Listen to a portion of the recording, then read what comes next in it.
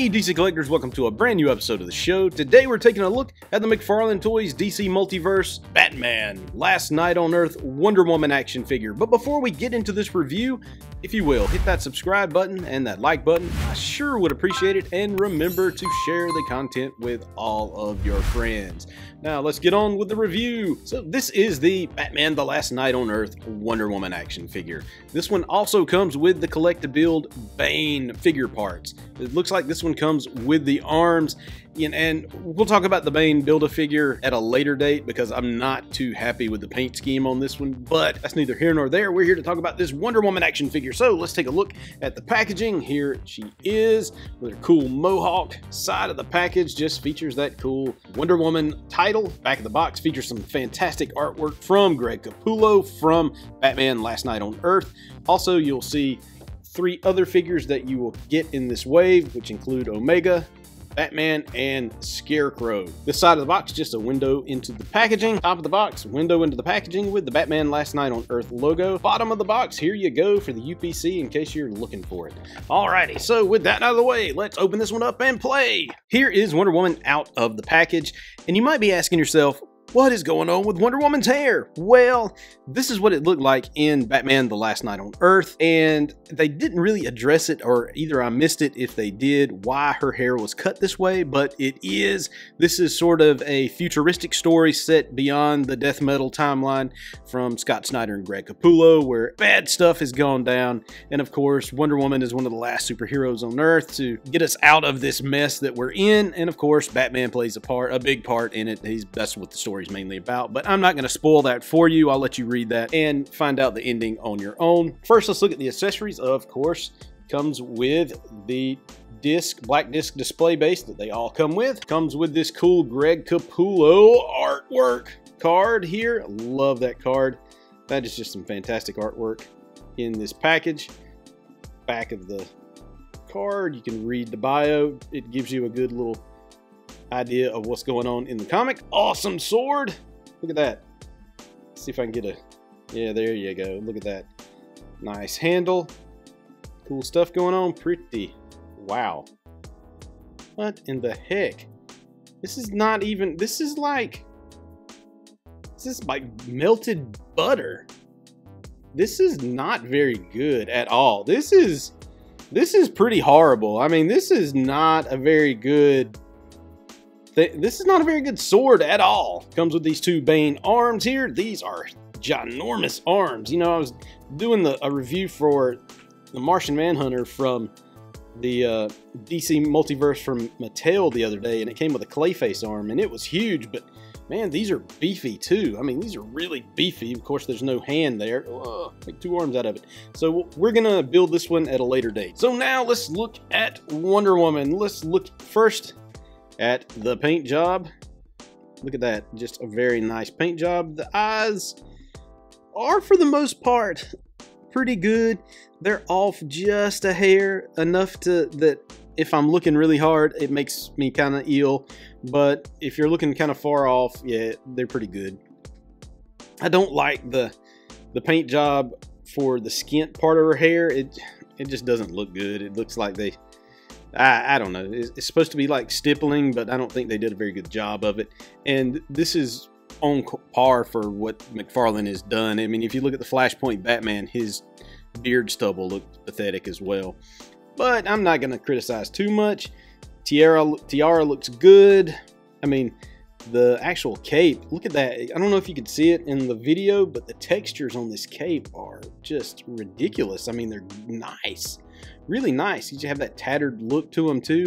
Underneath, it's the same thing. There's, I mean, it's got a really cool texture to it and that I can't really describe, and you have to actually feel that for yourself.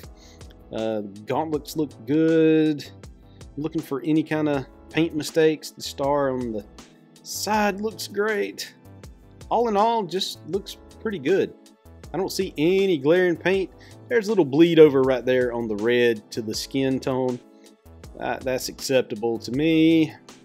Uh, chest looks good as far as paint goes. Everything looks everything looks spot on. Just a really nice, nice looking action figure. Now I will say this one does suffer from being in the package, and her legs are all screwed up and bow-legged.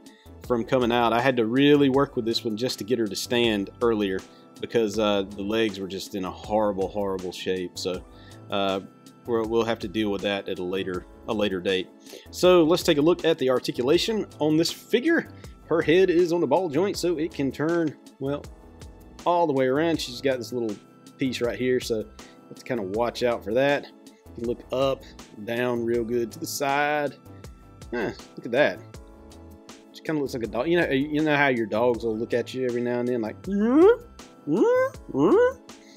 really, really nice articulation there. She does have butterfly shoulders that can go back and forth.